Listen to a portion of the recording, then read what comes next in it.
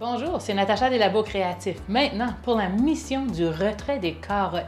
Tout comme Persévérance le fait sur Mars, vous allez devoir aller chercher des carottes et des échantillons du sol martien. À trois différentes locations sur notre planète Mars, nous avons trois différentes carottes. Donc, un total de neuf carottes. Vous pouvez aller en chercher deux maximum.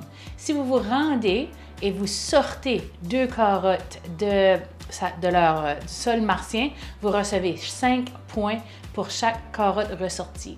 Si vous êtes en possession de la carotte et que vous vous rendez à un autre endroit et vous la portez à la location euh, précise qui est bien indiquée, tel, comme, tel que le fait Persévérance sur Mars, vous aurez un, surplus de 5 points, donc qui vous donnerait tout de suite un total de 20 points au total.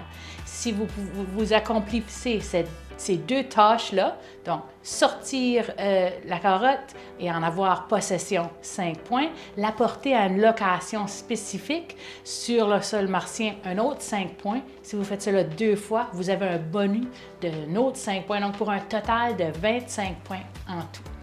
Pour d'autres informations sur nos missions, regardez nos prochaines vidéos.